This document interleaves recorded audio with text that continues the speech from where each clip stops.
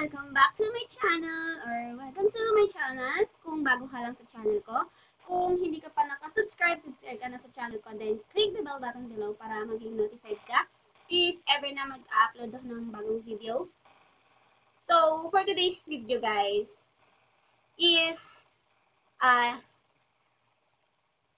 Japanese idol makeup inspired. So, without further ado guys, let's get into the video. So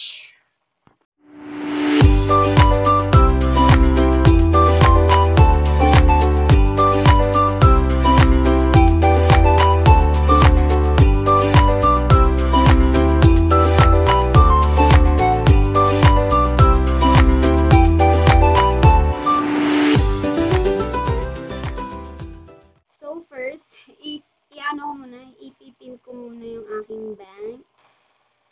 Yan. Yan, ipipin ko muna, pinin ko na siya. Tapos, ang first step is is etang BB cream. Yan. Apply ko siya sa face.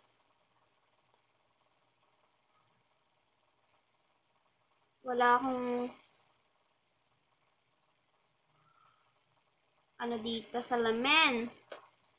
Ayun, meron.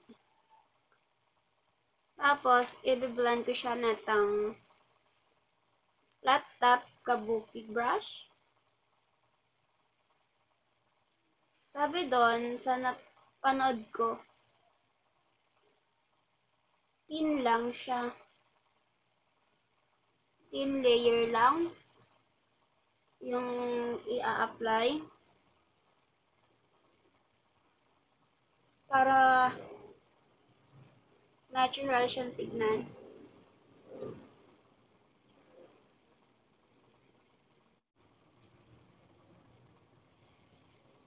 After, yan, after kung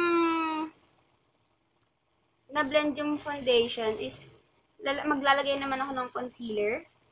Yan, ang gina ang gagamitin concealer is itong Focalor na concealer. Tapos, ilalagay ko lang, maglalagay lang ako ng konti dito sa eye bags. Tapos, dito rin.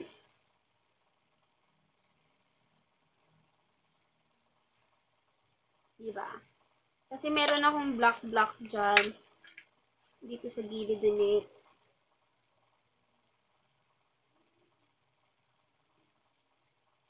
Kasi ano ko na rin yan sa lips ko. Bakit hindi ako satisfied? Ayan kasi o, oh, tignan nyo, kita nyo.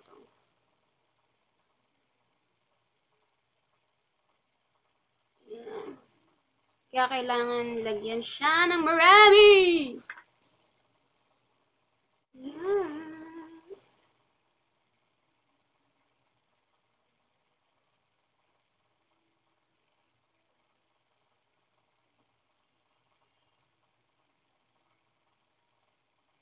Eh, after ng concealer is, gagamitin ko tong Simply, Simply Pretty ng Avon. Tapos, iano ko lang siya. I mag-add lang ako ng very, very light. Yan.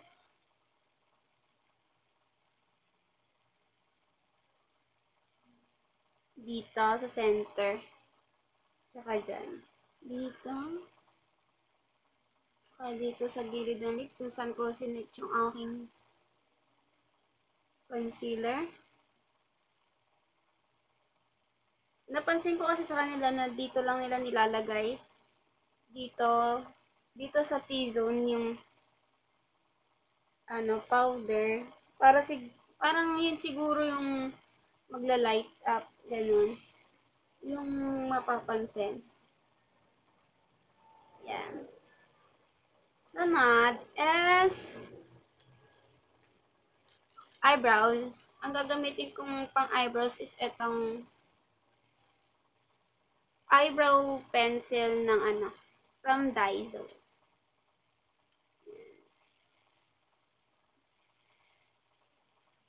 Para natural lang siya, natural effect lang. Ayan. Kasi sabi doon, yung natural nat, ano, be natural lang. Ganun yung ano ng mga Japanese idols.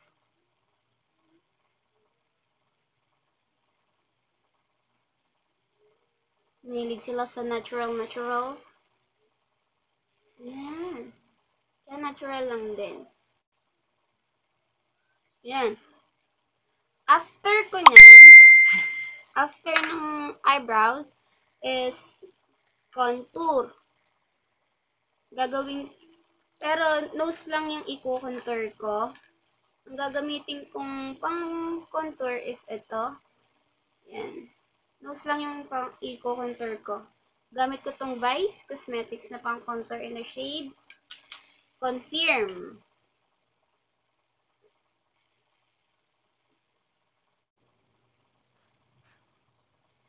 After ko mag-nose contour, is eyeshadow naman.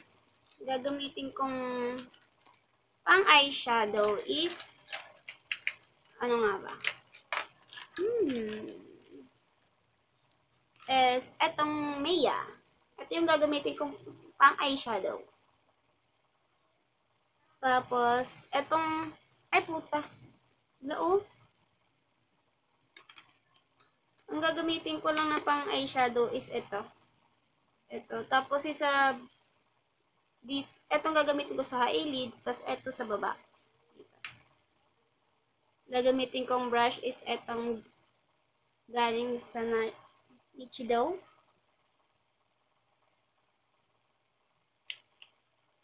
dito, yung eyeshadow ko is dun lang. Dito. Sa eyelids. Yan. Tapos, itong yung white na to, yung white, lalagay ko siya sa baba ng, ano, mata. Yan. Then, mag-ano lang, mag gagamitin ko tong eyebrows, pang eyebrow na to, ng Ever Belena sa aking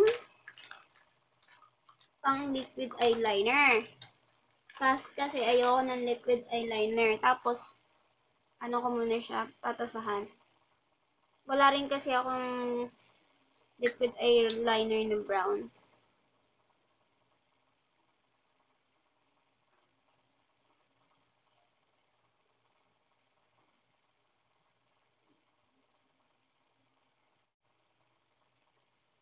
Yan. Diba? Ang cute. Sunod is blush. Ang gagamitin kong pang blush is ito. Yan. Back C. Pang blush. At ilalagay ko lang siya dito. Dito sa temples ng sa ano. Dito lang. Yan.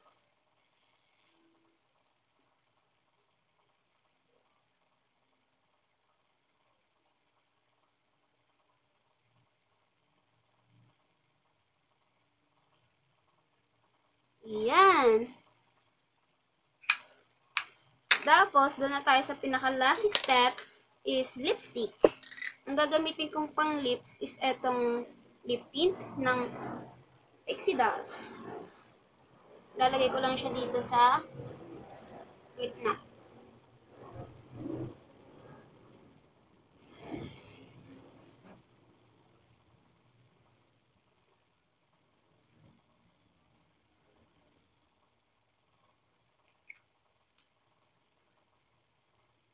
Yan.